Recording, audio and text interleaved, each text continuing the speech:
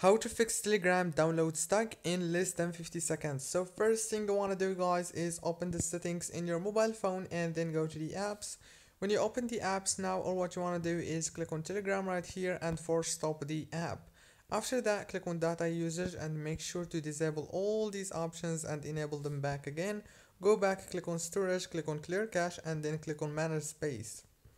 When you click on manage space your storage is gonna be cleared as you can see and last thing you want to do is go to the Play Store, search for Telegram and update it. Don't forget to like, subscribe.